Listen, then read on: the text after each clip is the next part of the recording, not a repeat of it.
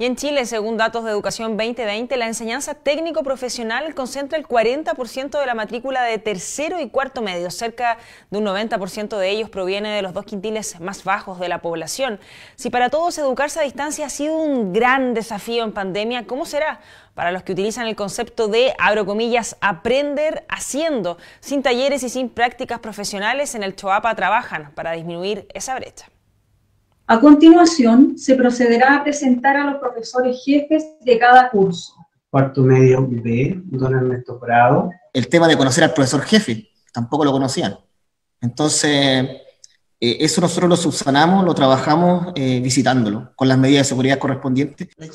Y así fue como conoció a sus estudiantes. Hoy nos muestra el Liceo de Canela donde imparte la carrera agropecuaria. Más de 20 años en la educación técnico profesional. Reconoce que la pandemia golpeó fuerte la enseñanza.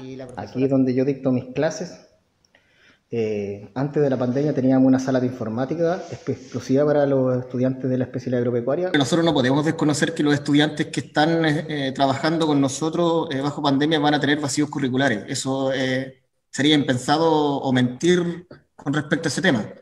Pero sí nosotros estamos generando actividades prácticas dentro de los hogares de los mismos estudiantes. Un día le pidió a sus alumnos elaborar un repelente para plagas amigable con el medio ambiente utilizando artículos caseros.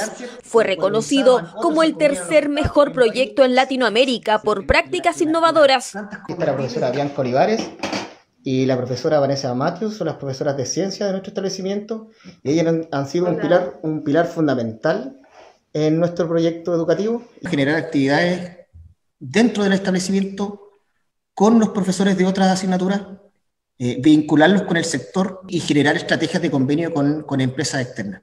Parte de los desafíos de la educación técnico-profesional, quizás algo invisibilizada en la pandemia, aprender haciendo. La clave de este tipo de enseñanza ahora tenían que hacerlo en casa, sin sus talleres, sin laboratorios y sin las prácticas profesionales. Nosotros necesitamos eh, tener una vida normal, por decirlo así, porque hay muchos compañeros que se están carcomiendo la cabeza por dentro, hay gente que se está estresando, hay niñas que sufren con esto de la pandemia. Villapel y Salamanca siguen en cuarentena con clases suspendidas en la provincia del Choapa. Sus cinco liceos técnico profesional a lo más tuvieron dos semanas educativas presenciales el año pasado. Este 2021 no han visto las aulas, casi toda la educación técnica de tercero y cuarto medio ha sido a distancia.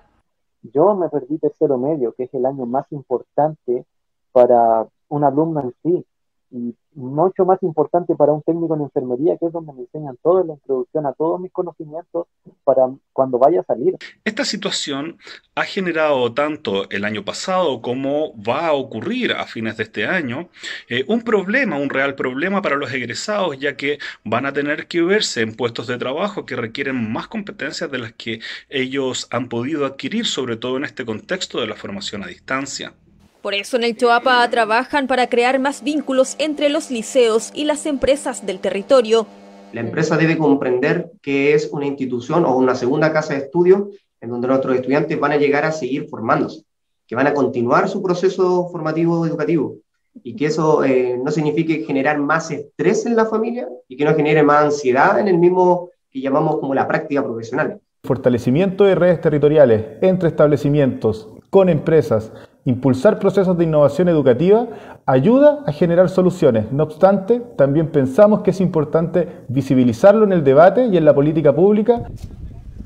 Hoy en Chile, la educación técnico-profesional para muchos es la única oportunidad de obtener un título. El desafío, visibilizarla y potenciarla con herramientas que le permita a esta generación de estudiantes sobrellevar los efectos de esta pandemia.